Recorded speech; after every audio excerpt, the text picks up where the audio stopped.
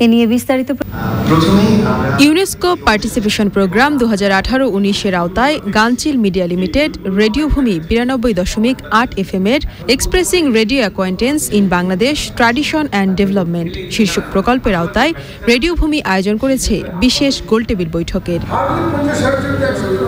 বাংলাদেশের রেডিও নিয়ে সর্বাঙ্গীন তথ্য সমৃদ্ধ নতুন একটি প্রকাশনা বের করার লক্ষ্যে আয়োজিত আলোচনার প্রথম সেশনে অংশ নেন স্বাধীন বাংলা বেতার কেন্দ্রের সংগঠকরা রেডিও ভূমি যে কাজটি করতে যাচ্ছে আজকের আলোচনায় সেটা বেরিয়ে আসলো যে মনে হচ্ছে সামনে একটি ভালো প্রকাশনা আসতে যাচ্ছে যেটা আমাদের আগামী প্রজন্মের জন্য খুব কার্যকরী ভূমিকা রাখবে এবং তাদের সঠিক ইতিহাস জানতে সাহায্য করবে।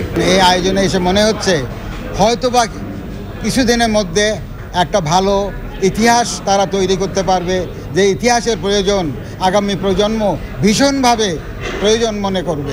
আগামী প্রজন্মের কাছে স্বাধীন বাংলা বেতার এবং রেডিওর অগ্রযাত্রার সামগ্রিক চিত্র তুলে ধরতেই এ ধরনের উদ্যোগ নেওয়া হয়েছে বলে জানান আয়োজকরা। পরবর্তী প্রজন্মের কাছে স্বাধীন বাংলা বেতার কেন্দ্রকে সুন্দরভাবে তুলে ধরতে হলে সেখানে যদি আমি একটি ক্রমান্বয় না সাজিয়ে দিই তাহলে আমরা আমাদের ইতিহাসটাকে অপূর্ণই রেখে যাব নতুন প্রজন্মের কাছে। সেই উদ্যোগ থেকে আমাদের এই আয়োজন।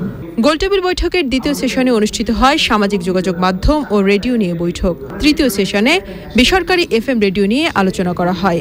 আগামী সাত সেপ্টেম্বর অনুষ্ঠিত হবে গোলটেবিল বৈঠকের দ্বিতীয় পর্ব। Laila Nausin, channel I.